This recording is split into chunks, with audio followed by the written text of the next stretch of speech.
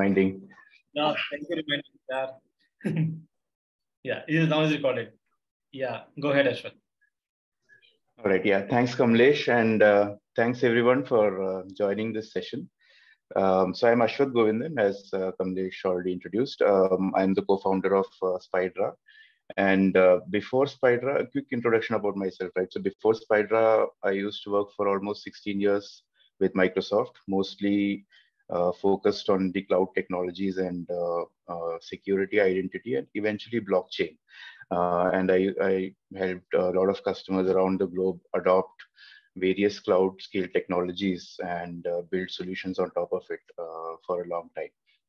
So, uh, as we all know, right, um, there is a lot of uh, use cases um, in in any business or traditional enterprise space where blockchain can help, right? Where there are multiple parties parties or organizations in this in this context that are involved in a business process, and blockchain is one of the way where uh, you know, the, some of those business processes can be streamlined and uh, data can be shared transparently uh, with all the goodness of blockchain, right? That we all understand.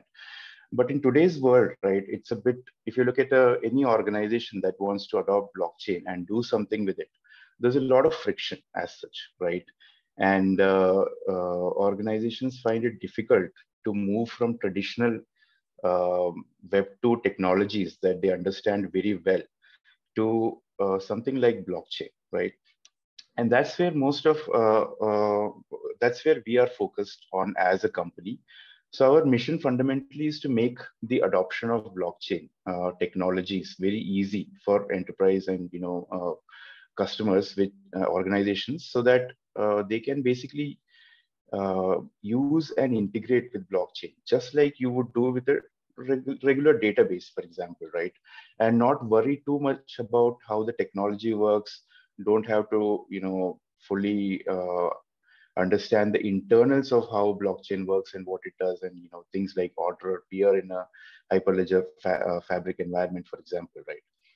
So that's why where uh, we have been working with a lot of customers to implement a lot of the blockchain use cases uh, for various industries, right? And then what we found was that we were doing a lot of repetitive work, right? Um, right from deploying infrastructure. So because we are talking about the private or enterprise blockchain space, so there's always some infrastructure that you have to deploy that to at scale, right? And when multiple organizations are in, involved and when you have to actually scale your use case and onboard multiple participants, there's a lot of infrastructure definitely involved. So right from that to actually developing the solution on blockchain to integrating it with existing applications, there's a lot of things which which are not available out of the box, but at the same time, you know, those are repetitive kind of tasks that you have to do for every customer.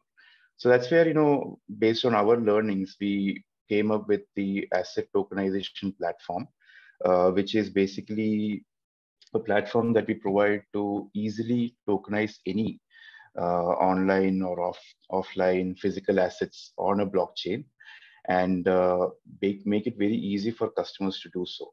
So our platform is currently fully built on Hyperledger Fabric um, and basically covers, you know, uh, different use cases across different industries, but more focused on the enterprise use cases or the enterprise uh, side of blockchain at this point of time.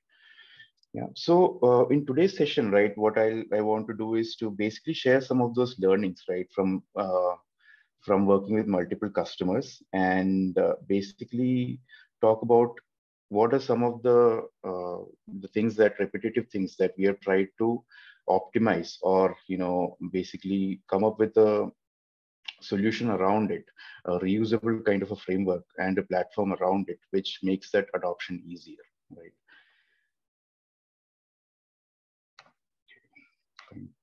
So um, what is asset tokenization, uh, first of all, right?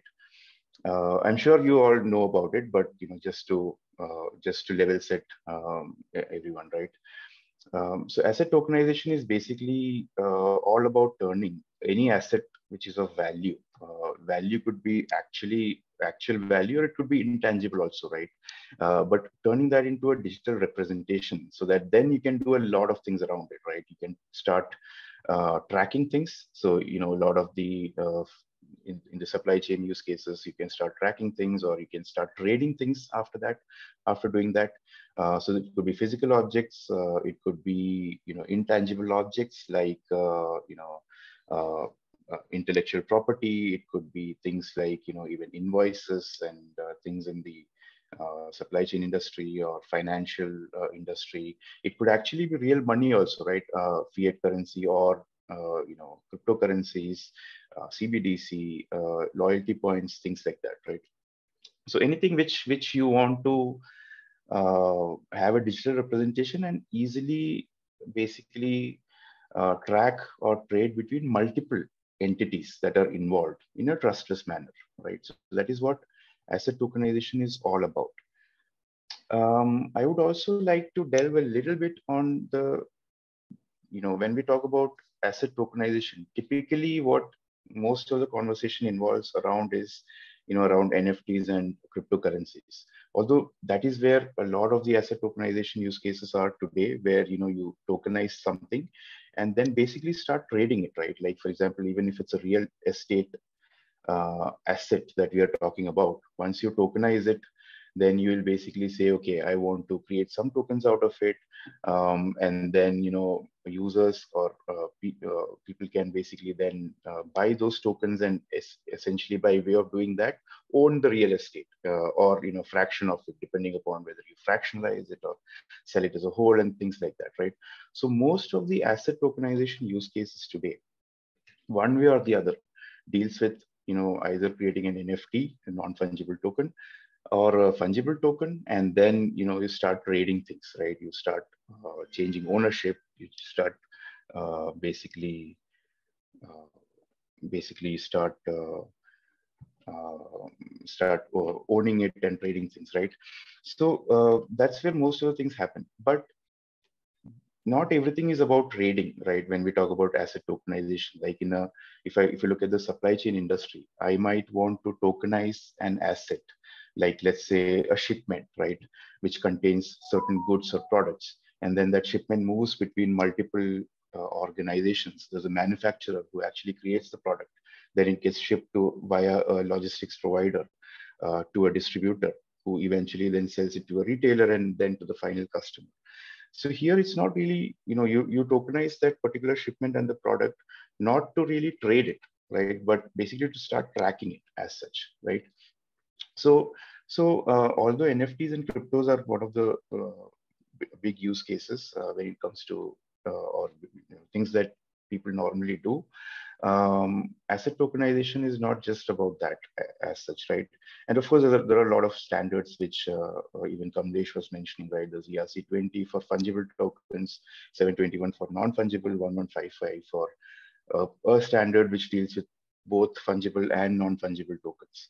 Mostly these come from the Ethereum uh, side of things, but you know they are still standards, right? So you can actually implement them in any any uh, blockchain as such. Uh, but when it comes to you know really uh, scaling asset tokenization. Scaling means I'm not really talking about performance at this point of time, but basically using the concept of asset tokenization across industries for different kinds of needs, right? And basically really utilizing blockchain uh, across industries, right? Uh, it's not even just about the standards, right? Because a lot of the use cases would require you to do things beyond these standards as well. Like for example, right? Um, if you're, uh, if I take the same, you know, example of a, a, shipment that you tokenize in a in a blockchain. Let's say you create an NFT, right, which represents the the actual uh, shipment. Now, as part of the ERC 721 or 1155 standards, there will be certain set of methods that will be that you'll have to implement. Like for example, you'll have to say, okay, uh, you know how single transfer or uh, safe transfer from uh, what is the balance. So there, there are there are methods for that, right? But then you know just by implementing those methods, maybe you won't be able to do everything. For example, right? Uh, what if I need to find out all the shipments that have been delayed, right? There is no uh, there is no out of the box or you know there is no method defined in any standard which will uh, which will let you query something like that, right? Uh, which is a very uh, very generic query, if I may call it that way, right? So think about it uh, like this, right? Um, block blockchain is sort of like a decentralized database in a way, right? An immutable decentralized database. In a typical database system, once you add a record into the system, then you can start querying and do a lot of things with that with a lot of flexibility. Unfortunately, when we talk about blockchain, that's not it's it's not you know as flexible as a traditional database, right? So once you start creating assets in the blockchain, there are limited things that you can do with it, right? You can execute certain functions. If you want to go beyond that, then you'll have to start rolling your own things, right? You have to start looking at going above and beyond beyond these standards, and then uh, start doing things your own way. So there's a good uh, related presentation also on this, which just happened a couple of weeks ago, which in a similar, you know, Hyperledger meetup, I believe in uh, in US, uh, where Daniel Barbosa was talking about, you know, asset tokenization. It, it's it's really far more than NFTs and crypto, right? So today, what I'll talk I'll talk about is, you know, not the typical NFT and crypto use cases, which I believe has been talked about a lot, right? But what if you want to do asset tokenization and use asset, asset tokenization and maybe, you know, solve other, other use cases like track and trace in a uh, uh, supply chain or maybe something in the fintech space or insurance space where you have to uh, participate, collaborate with multiple participants and uh, uh, do things like supply chain financing or in, invoice discounting. So these kind of things, right?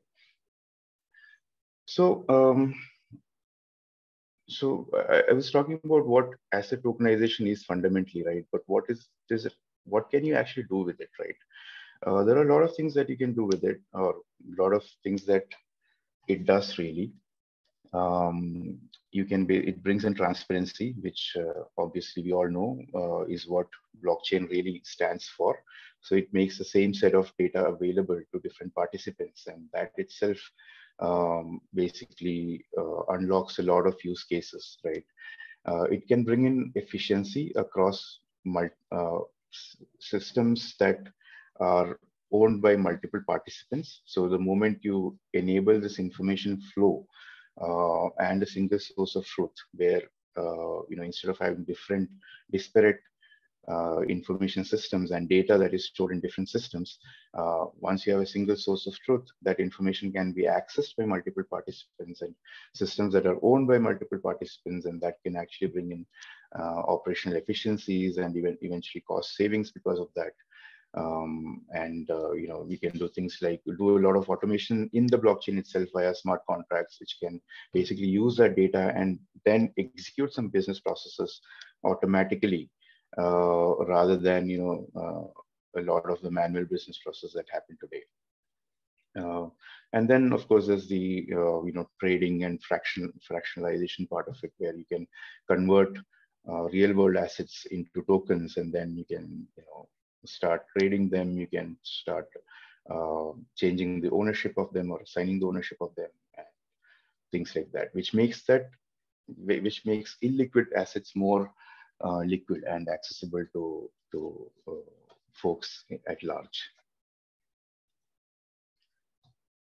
So at a high level, right, what goes into a successful asset tokenization solution? Um, I would say there are three important things, right? One is um, and specifically as we are talking about you know the private or the enterprise blockchain side of things right?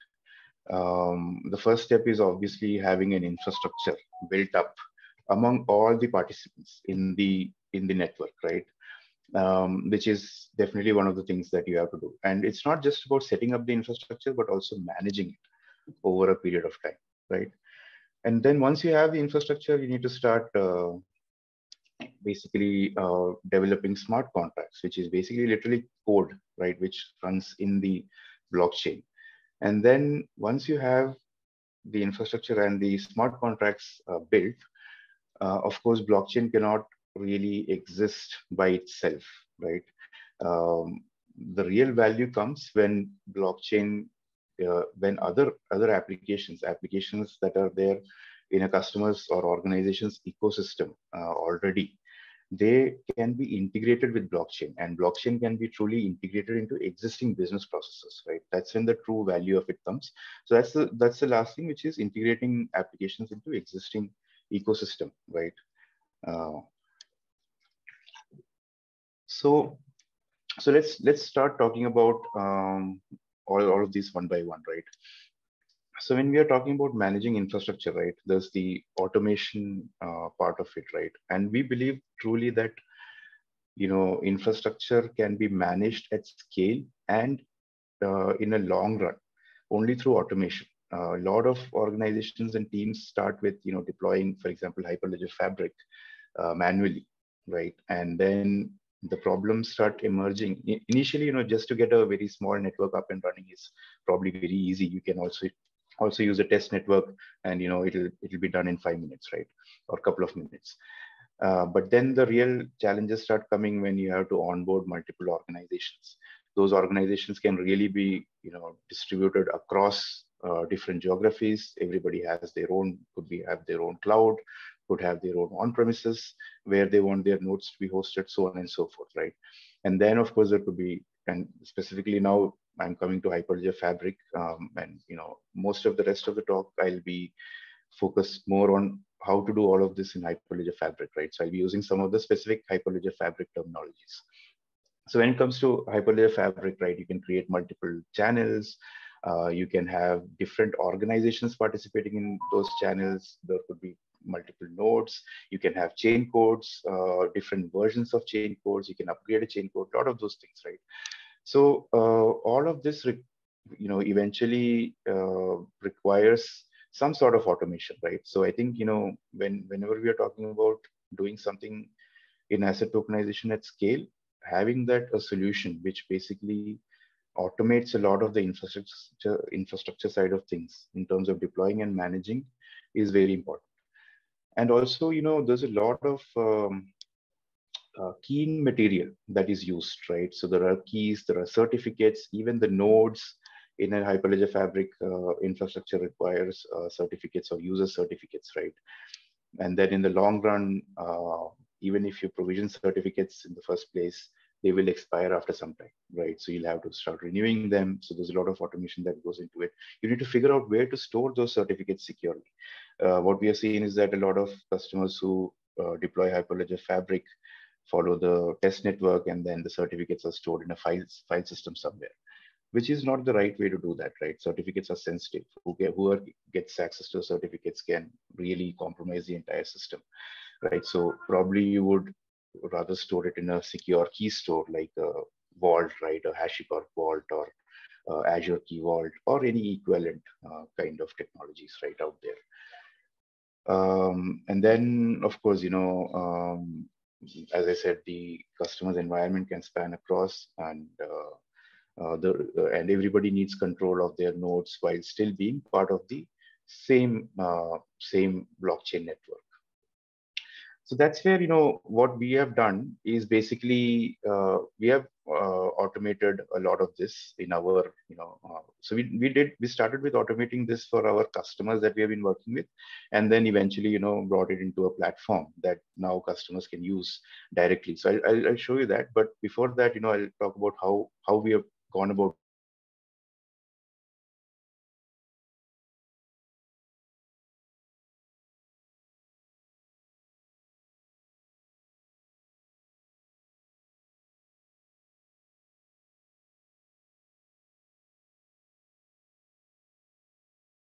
Yeah. Did we lost the Ashwath or?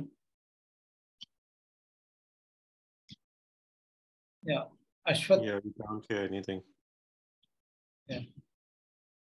Ashwath, we lost you. Maybe some network issue. We can wait for some time.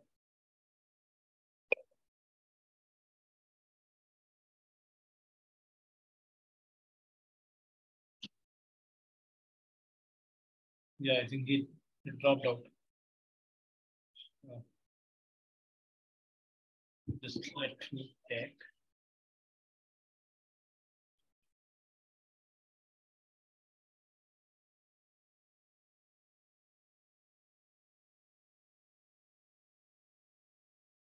Yeah, that's back.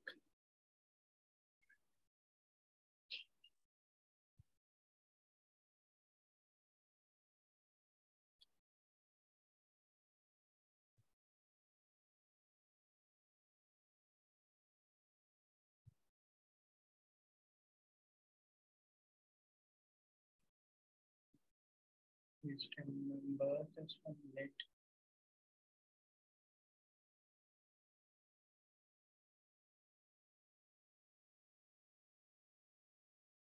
Maybe they lost network.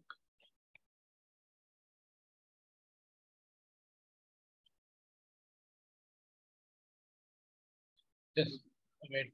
Uh,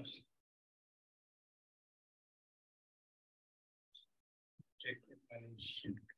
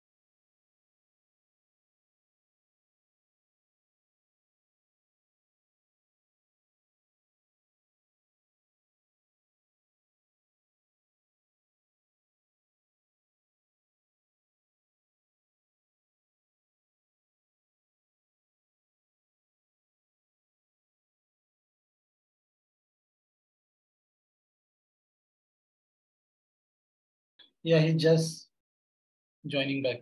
He just joined. Hello, everyone. Sorry about that uh, network issue. And, you know, it always happens when you're presenting or doing a demo. So it always goes wrong. So, No, okay, I- sorry about that.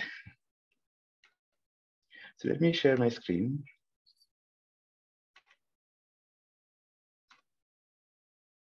Okay. Uh, I hope you can see my screen. Yeah, yeah. Uh, we can see. Yeah, okay.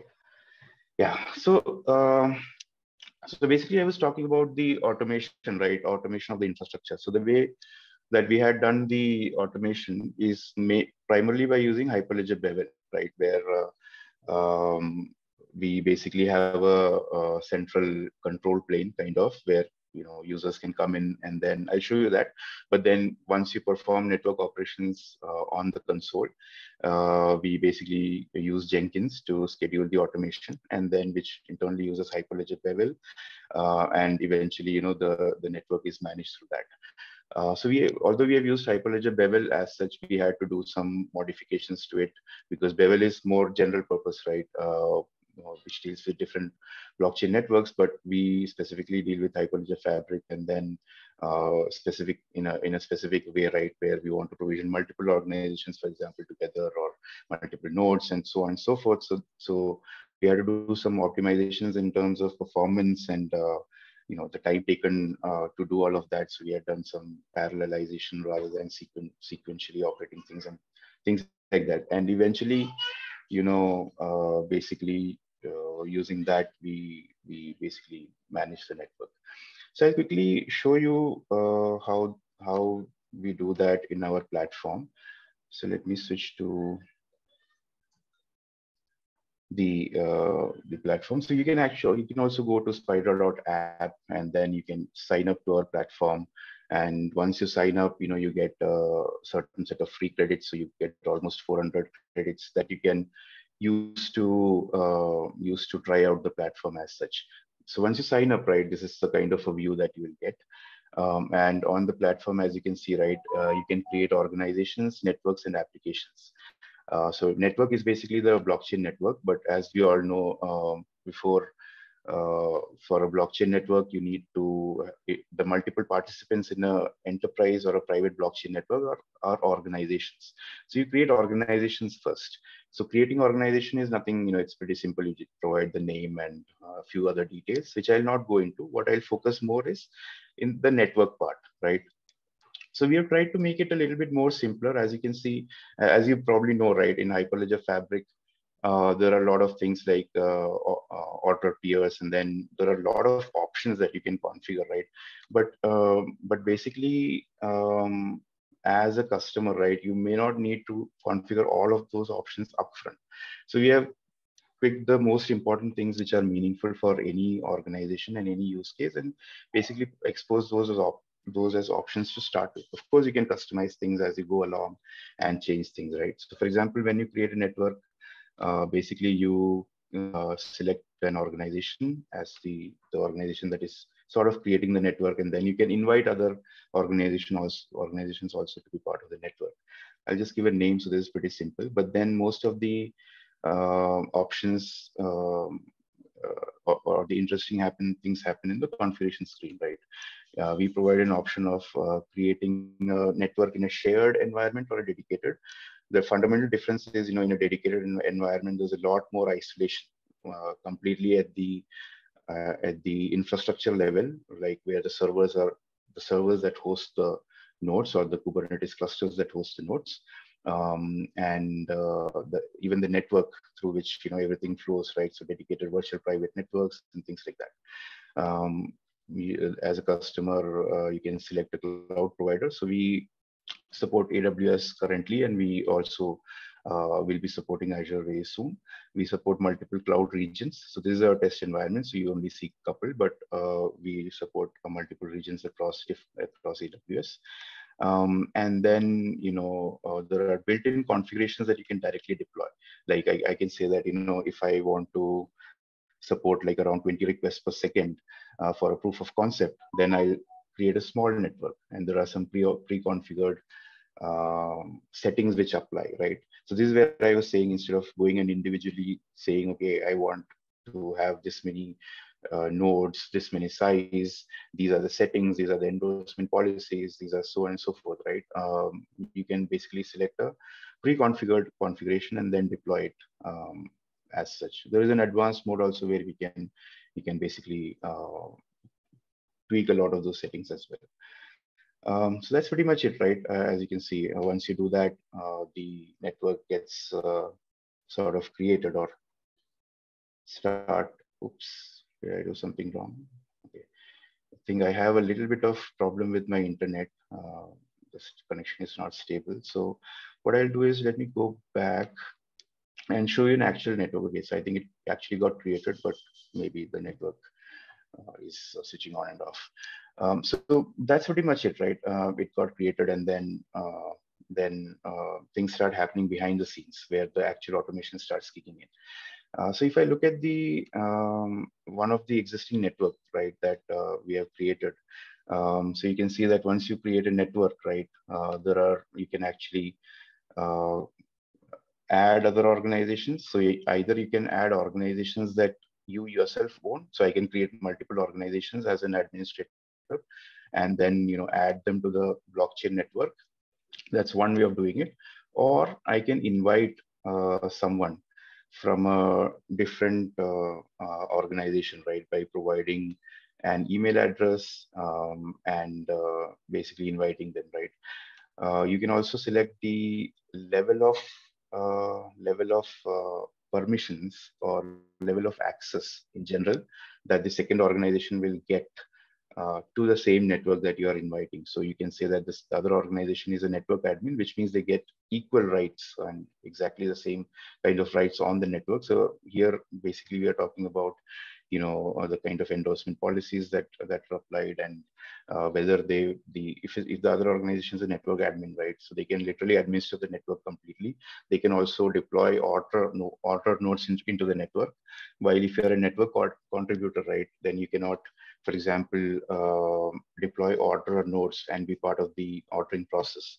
And uh, Similarly, if you're a network contributor, you cannot invite other organizations. So basically, you not uh, cannot decide who else who else to uh, who else gets to be part of the network and so on and so forth, right? So basically, this is sort of uh, mirroring the Hyperledger uh, Fabric's ACL itself and how things work within ACL, right? But instead of exposing the raw ACLs and endorsement policies, we have bundled them into roles, which uh, which basically um, provide certain pre-built settings out of the box, um, and those those settings are applied to the invited organization. So basically, um, that's how you can be um, and you can form a consortium or a network with multiple participants and uh, do not worry about actual deployment of the uh, infrastructure and uh, the configurations behind the scenes. Um, and then, of course, you know, once you uh, have an infrastructure, you can start uh, doing more uh, granular configurations, like you can create channels, you can basically, you know, add or modify the existing nodes. you can start adding applications which are nothing but chain code. Uh, so we basically provide a pre-configured application also, which I'll talk come come to in the next set of slides. But uh, essentially, you can also bring your own application, as in you know your own chain code. So we support Node.js and Golang at this time, so you can you know create the application. And once you create an application, you can add different versions to the application, and then basically you can deploy uh, an application on a particular channel um, and things like that, right? So the typical uh, typical chain code lifecycle operations you can do, and all the other you know um, all the other typical operations that you would do on a fabric network, right? Hyperledger fabric network. Um, so that's that's you know that's the first part, right? Which is more about automating the infrastructure side of things also, which we believe is you know fundamental to any to, to running any uh, blockchain network and basically productionizing it, right, and running it at scale. Um, there are, you know, you'll have to monitor the network, you'll have to look at statistics for the network, you know, things like that, right? It's a lot of, and you know, if you if there's something wrong, you need to get alerted, uh, uh, and uh, you know, a lot of things like that, right? So, so uh, you need a platform which does all of that, and uh, the the intention of uh, designing our platform also or creating our platform was to do that itself, right? But then that's not where, you know, things, uh, that's not everything, right? Once you have a infrastructure, right? The question is then what, right? The second step is all about developing smart contracts. Now, of course, you can um, develop a smart contract. Uh, you can start writing code in Golang, Node.js, uh, specifically when it comes to Hyperledger Fabric uh, or Java, you know, whatever language you're comfortable with. But then, you know, uh, let's take a step back to asset tokenization again, right? And uh, basically, what is an asset? So there's a lot of, you know, different terminology that uh, folks use, right? Um, of course, uh, NFTs and fungible tokens are definitely assets which everyone is familiar familiar with. But then, you know, NFTs today is mostly used for you know, uh, creating a, so what is an NFT really? It's a, it's really, if you look at it, it's really an object with a unique identifier, right? Where one token is not the same as a separate, uh, as a different token. So there is something unique between these two. So if, uh, if the NFT is that of a painting, for example, painting number one and painting number two has something unique, which, uh, which, uh, which makes them different, right? So think of it like, a, if you think of it at a fundamental level, it's an object with a unique identifier or a unique property, right? Is what an NFT.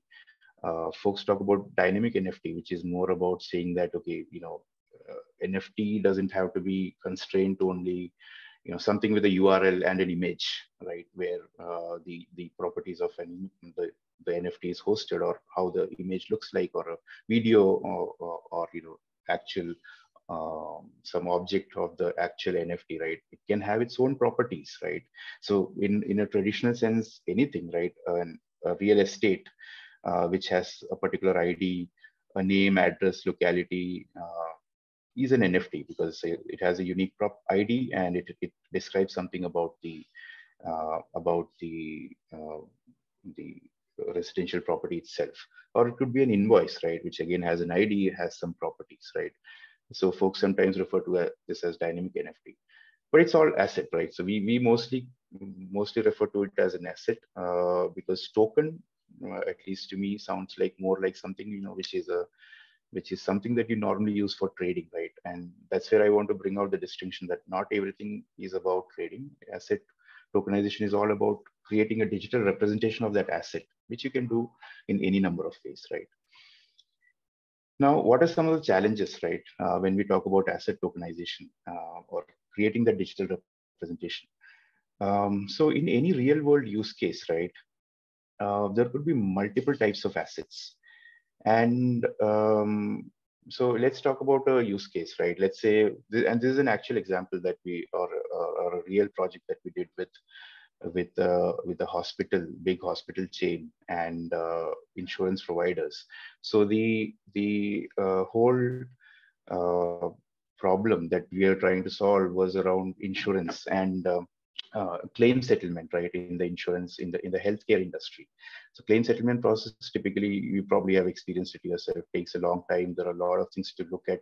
Uh, the, there's a lot, lot of back and forth that happens between the customer, the hospital, there's a there's an insurance provider, and there's normally a uh, third-party administrator, right, a TPA. Um, and this is actually very ripe, ripe use case for, uh, for blockchain because there are multiple parties involved and there is some information that is about a particular diagnosis and something that was uh, you know related to a hospital visit that needs to be shared between all of these parties in a transparent manner uh, based on which certain decisions have to be made and a claim settlement has to be done right? So uh, in in a, in in in this kind of a use case right there is certain information about the uh, patient the insurance the diagnosis that happened uh, on in the and the procedures that happened in the hospital that needs to be shared, right? So if you look at this kind of uh, use case, right, and uh, if I look at uh, so there are some standards which uh, which deals with uh, with this kind of patient information as well. So there's something called as FHIR, uh, which is a standard which is used by primarily by the US, but also you know other countries are also getting onboarded to this. Uh, FHIR standard is all about how do you represent patient-related information, patient and healthcare related information in a standard way, so that different participants can basically consume the same information uh, easily, right? So as you can see right here, there are almost 150 different types of objects, right? So ranging from let's say uh, an observation, which is basically a diagnosis that happens. There are uh, documents or diagnostic reports that are created. There is definitely, you know, uh, patient. Uh, it's kind of difficult to find in this. Yeah, so yeah, there are there's a specific schema for patient, a specific scheme for insurance, for example. Uh, so insurance plan is here. If, when you are doing a claim settlement, uh, how a claim form should look like, how this should look like, invoicing, payments, right? So there's a lot of lot of uh, schemas which are already defined. And literally, if you are talking about representing all of this uh, in the blockchain, now of course everything need not go into the blockchain, but at least a lot of lot of the information needs to go into the blockchain if we are to really solve the insurance claim settlement use case in the healthcare industry. So this is the kind of assets that we are talking about that will go into the blockchain, right? So now if you are to really, uh, if you have to really, uh, so I'm, I'm, getting messages that the network connection is unstable. I'm just hoping that you can hear me.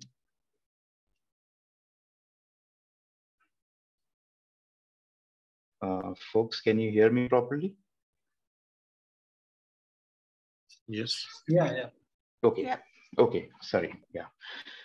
Okay. So um, yeah. So what I was saying was that these are the kind of assets that need to go into the blockchain, right?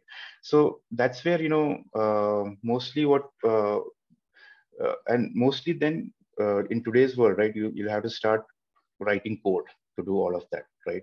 Uh, unlike a, a database in Hyperledger Fabric, or even in any other blockchain, there is no concept of a table or you know a collection or whatever you call it. You can't directly define that. But there is no easy way to just query and create assets out of the box right? You have to start writing code for everything. And then once you start putting all this information in there's no easy way or flexible way to query things and get out of it right? And also there's a lot of things that now has to happen. Like for example patient record can only be created by a hospital cannot be created by a, uh, the insurance provider, for example, right? Insurance policy can be created only by the insurance provider, but not by the patient, and so on and so, or, or the hospital, and so on and so forth, right? So then you have to start defining permissions and all of that, right? Of course, you can write chain code to do all of that, but there's a lot of complexity that, that comes into it, right? So this is kind of an asset model. I, this is a very simplified asset model uh, uh, we have come up with just for this demo. Let's say there's a patient, right? And patient visits a hospital, there's an insurance uh, plan that the patient has. Uh, they perform, the doctor performs a diagnosis, which is an observation. Some procedures are done, and then a claim is filed, which needs to be settled, right? So if you can see, uh, this is a asset model and there are references that point to each other, right? Like patient has policies, observation is for a patient, which is stored in a subject, an attribute for subject. There's a claim which, uh, which you know, then is created for a patient, for a diagnosis, for a certain set of procedures, and uh, uh, there's an insurance uh, that needs to be used, right, to settle the claim. So now, how do you do all, keep do do all of that, right, in the blockchain? And that's where our second part of the solution comes in, which is all about um, the, the, the built-in application that we provide that is called as uh, asset tokenization. So the the uh, intent of the asset tokenization solution is basically to uh, provide, uh, so let me go back, sorry. Sorry, my internet connection is really stuck today. Uh, so let me go to, yeah. So if I go to deployed applications, right? So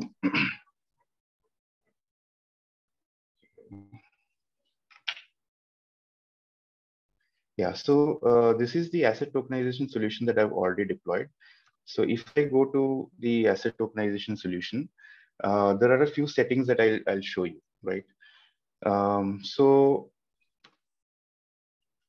basically, if I go to the settings, right, um, what we have provided is a way to, just like I was saying, right, uh, similar to a similar to a um, database, right? We have provided a way to create asset types. Think of this like uh, creating tables, right? Um, so you can basically create multiple tables, but you don't have to provide a lot of information, unlike a table where you have to provide a lot of, uh, you know, define columns, right, that belong to a uh, to a table. And uh, if I come back, related this back to the insurance settlement use case, um, the hospital might already be using a uh, a system to manage the patient records and the health information, right? So they have already defined all of that in their existing system.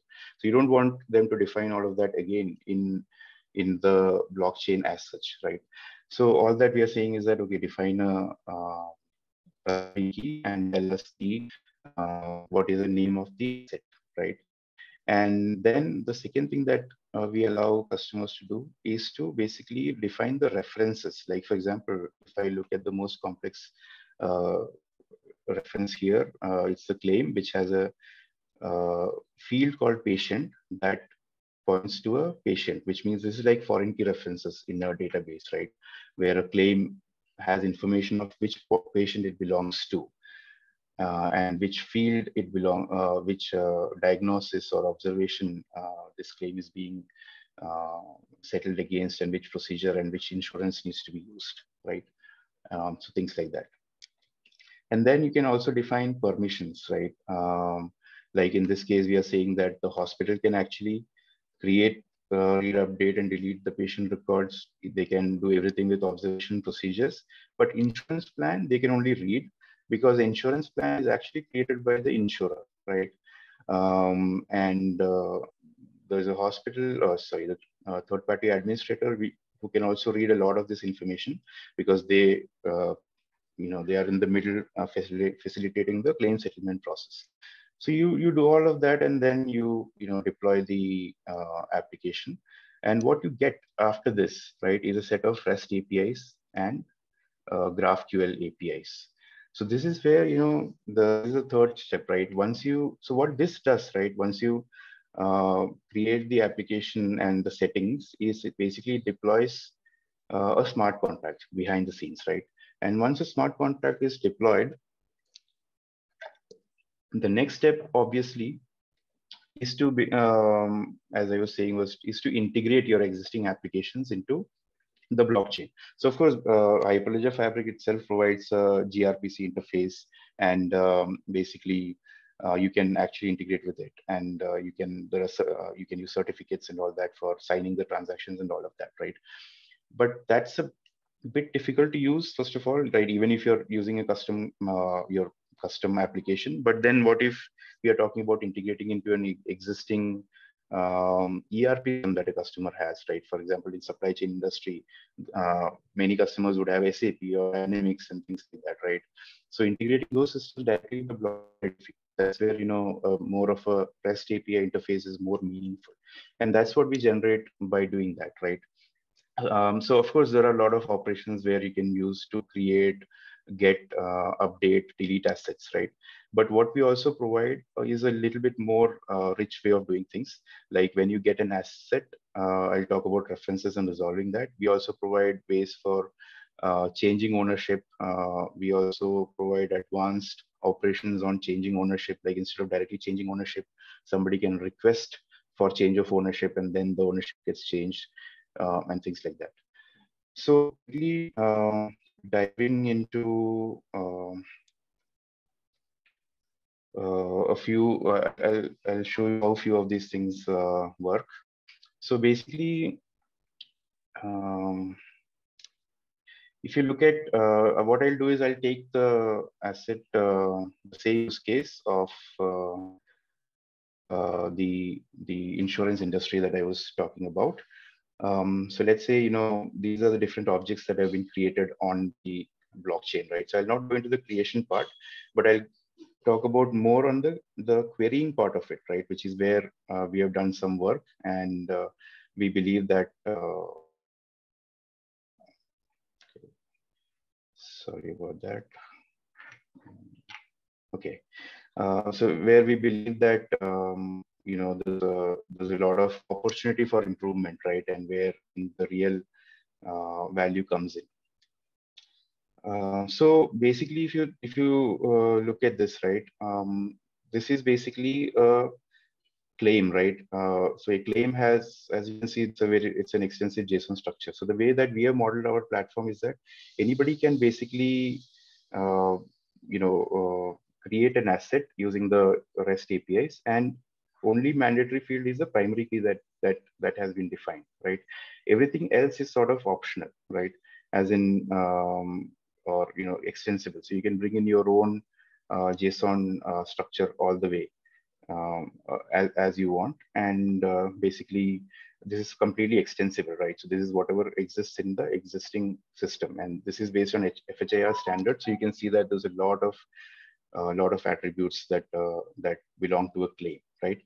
But fundamentally, if you see, uh, claim has uh, belongs to a has details about a patient, details about an insurance, and these themselves are different assets uh, in their own right, right? So what we have basically done is that when we get a claim, right? So let's say I'm getting this claim. Uh, so at that time, right, what happens is if you see the result, right, uh, the the when I created a claim, right, all that it has is uh, it says that it belongs to this particular patient, right? And uh, this is the diagnosis and the diagnosis ID or the observation ID. But if I look at the get part of it, when I get the same claim, within diagnosis, this is the diagnosis ID, but we automatically expand the uh, observation, right, with the actual data from the observation. So why do we do that? Um, uh, querying the blockchain is basically not a very easy, um, it's not as performant as a regular database, right? So if you have to uh, do multiple queries, it's it slows down the system a bit. So we have developed a system where you can actually get the get an asset with all the referenced information. So for example, if I look at a more uh, more complex case here, there is a procedure, right, that the uh, the the patient went through. So the procedure has an uh, has a part of which basically points to an observation. So the observation itself is expanded and the observation actually has a subject which points to a patient. So the patient is fully expanded here and then, you know, uh, there are policies that belong to a patient and the policies are also expanded. So you can get everything in one, one call, basically. That's one thing, you know, which we have found very useful, the querying part of it, right? When you have to query multiple objects and get it out of the system. The, of course, you can get a history about a claim, right? Uh, so we have APIs for that, uh, which will give you the entire claim and the history of when it was uh, created, when it was approved, for example, in this case, right? In this case, uh, the claim, was, there are three records for the claim. Uh, it was created by this organization. So we add a lot of metadata automatically, which tells you a lot of information about who the owner is, who, when it was created, updated, so on and so forth. It was created by this organization, which is the uh, hospital. And then eventually it was approved. Uh, the, the, it was approved, the claim status was approved by a different organization, which is a TPA in this case, right? What we also do uh, provide, uh, apart from the regular REST API interface, is a GraphQL interface. So basically, GraphQL is a way of querying, uh, is a you know uh, is a is a very popular way of uh, representing query kind of language over the over a REST or a HTTP interface, right? Um, so basically, what we have done is we have done some engineering on top of uh, Hyperledger Fabric and uh, specifically where CouchDB is the backend, right? So we, we basically support a GraphQL interface where we where uh, you can basically uh, write GraphQL queries, which eventually gets transformed into CouchDB rich queries, and then the information is sent back.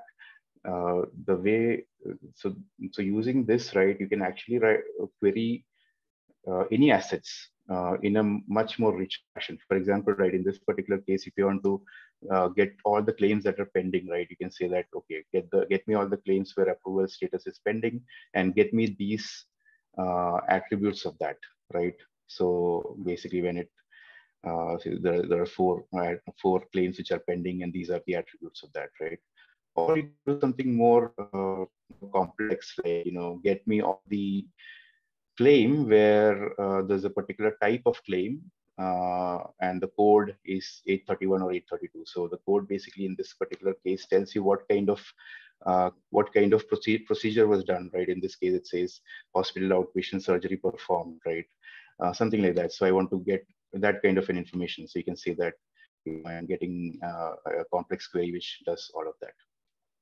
So that's what uh, we have done with GraphQL, um, which basically, you know, and it's all all about making that integration easier. If you think about it, right, what it actually does, right? So so that's the uh, that's the other two parts where you know it's all about uh, right uh, smart contracts yourself. You get a and uh, you get a framework where you can actually define and do things yourself, and then you know uh, you can basically query uh, stuff out and get stuff out in a very rich and uh, rich and easy manner right? So this is what how graphql works. Basically we we uh, convert graphql query into a couchdb rich query and then parse it and parse the response and give it back uh, in a graphql format.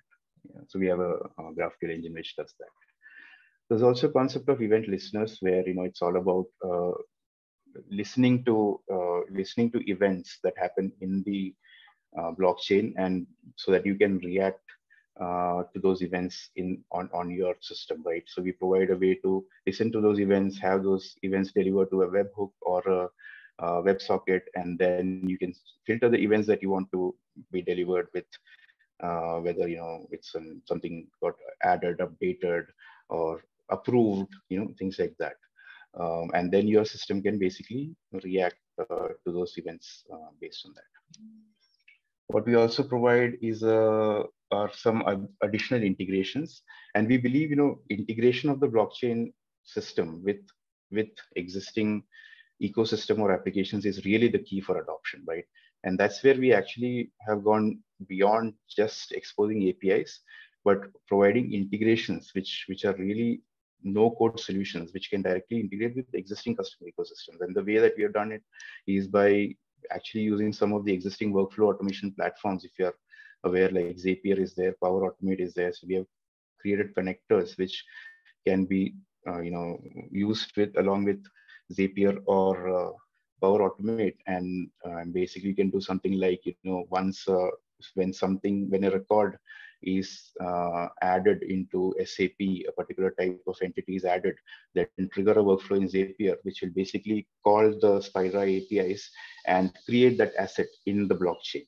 So you don't have to write any, any code for that. Or similarly, you know, to the even to the level of once uh, when you add a record in a CSV or an Excel sheet, then create a record or update a record on the blockchain, or vice versa. When so when something gets created in the blockchain, then it Uh, then that event gets sent to Zapier or Power Automate, and then based on that, you can put it into a database, for example, and things like that.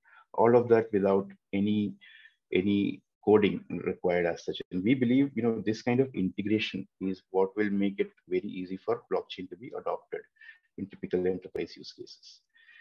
Uh, of course, you know, uh, you can also write your own code as I was showing, uh, but some of the innovations that we have done in that space is even with your own custom chain code, you get very similar functionalities. You can invoke or query your custom chain code methods using a REST API. You can actually query using GraphQL, GraphQL as well. And you can, you know, add the event listeners or, you know, you can use the listener functionality with your own uh, chain code as well. Uh, last but not the least, what we have also done is, you know, if you're if you're anywhere using your own custom chain code or writing your own custom chain code, um, there is no easy way to debug code from uh, uh, an IDE currently, like from a Visual Studio Code or any other IDE that you're using. So we have actually published a VS Code extension, which makes it easy for uh, for debugging applications right from within Visual Studio Code. Uh, so the way that works is right, you just have to install the uh, extension. You basically uh, basically uh, provide some configurations to say that this is the debugger that you want to uh, invoke, and basically just uh, you know start debugging the code right from within Visual Studio Code, and then you can also submit uh, requests. Uh, so in you can invoke um, methods in your chain code right from within uh, Visual Studio Code. You can invoke, invoke a transaction or query a uh, query, uh, send a query, and then you can get back the results. And the debugger, you can you know create breakpoints within within the debugger, and the debugger will be the breakpoints will be hit, and you can do line by line debugging, inspect the variables, and all of that, right? So yeah so that's what uh, we have you know uh, we have done over the period and then what we have basically uh, you know realized that how you know some of the things that should happen for enterprise blockchain solutions to be adopted at scale across various use cases and you know some of the learnings that we we uh, we had over the period of years right uh, based on which we have made this platform. So feel free to you know look around visit spydra.app and try out the platform um, and you know see how it, useful it is. And if there's any feedback uh, we are we are uh, we are more than happy to listen to it and hope that uh, the session was useful. Um, thanks thanks everyone for joining. If there are any questions i think i didn't get a chance to look at the chat but uh, if there are any questions i can take that. Uh, feel free to stay back you know whoever wants to have any questions or uh, if you want to ask ask something, feel free to unmute and ask. Yeah. Um, so, well. uh, uh, thank you, Ashwin. I think great presentation. I, I have one uh, general question maybe for the audience. Like mostly companies are doing tokenization on any kind of public blockchains. So, hmm. what motivates an inspiration to do on a private or hyperledger fabricated blockchain? I, I, I know, but I want to get the answer for the for the other people who. yes. Sure, sure. So I think it really all depends on you know what you're trying to do, right? Um, if uh, if there are a lot of use cases, you know, where uh, where the data that you are the, the assets that you want to talk, tokenize, uh, you don't necessarily necessarily don't want to uh, no don't want to put it in a uh, public blockchain, right?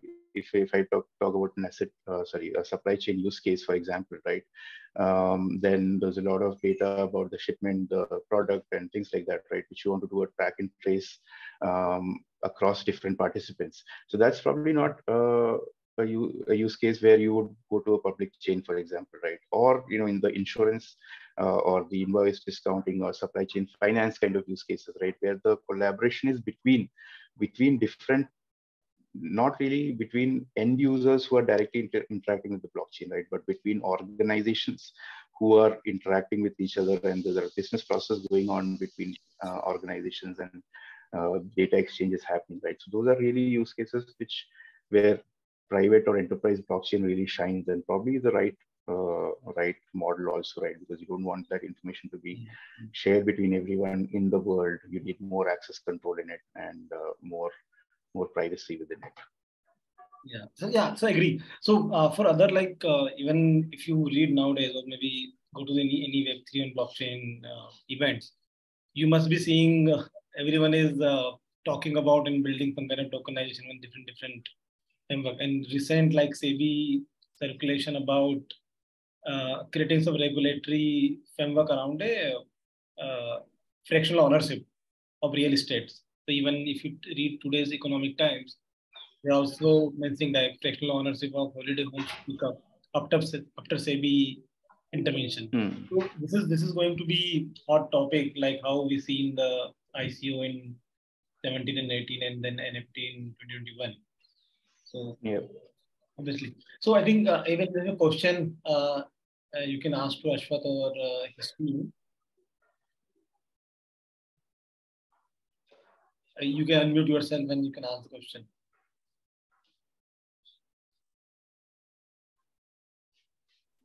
Uh, so just a general question from my side. Um, I know uh, wallets uh, probably not related to um, uh, physical assets. It's more related to uh, uh, to movement of money, but any specific use cases uh, that, that Spydra has done around wallet integrations and tokenization in the in that space? Yeah, so um, so yeah, so we have done some work also, but I think you know in uh, sort of answering the larger question, right? Not necessarily wallet integration is about money or you know cryptocurrency mm. it could also be you know for example an asset that you own right it could be a real estate asset for example right? Um, when you yeah anything that you own uh, can actually go into a wallet but i think in an enterprise case use case scenario right? I think the question is more around who are the participants in the network right? Are mm. they end users who are in the, the participants in the network? Then yes absolutely it makes sense to basically uh, whatever you're issuing a token or asset or nft goes into the wallet of the user. But in a lot of right. cases right the participants are organizations. Like in the insurance use case i was talking about uh, and insurance is an asset which is owned by the insurance company right? Uh, in this case particular of course it's actually issued to a user but the, in the use case it's the insurance company that has to do something with it. So in that case the wallet sort of is owned by the organization and not really by the end user. So i think that's where you need to look at what is the actual use case and where the asset should actually be owned and which wallet it should go into. Right. Okay Thanks for answering. Okay, all right. Uh, okay, so I think a lot of the questions seem to be already answered. So I'm not reading through all of that, but yeah, if you if there's any other questions, please feel free to unmute yourself and uh, ask. Yeah, if no question, then we can stop and uh, you can find this recording on Hyperledger YouTube channel. All right. Thank you everyone for joining and uh, you have a great day ahead. Thanks very much. Great presentation. Thanks. Thank you, Ashwath. And Thank you.